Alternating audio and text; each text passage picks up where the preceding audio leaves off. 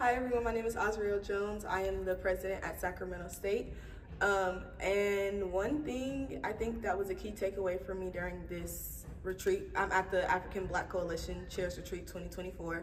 And one thing that really stood out to me was being able to be comfortable being uncomfortable as a leader and being able to talk about controversial topics and learning about both sides. I think that was really important to learn as well as being able to um, connect with other BSU presidents. And I think it's important that we all connect together because we are all in California as well as Las Vegas. And it's nice that we can all reach out to each other and connect with each other on another basis. Yeah.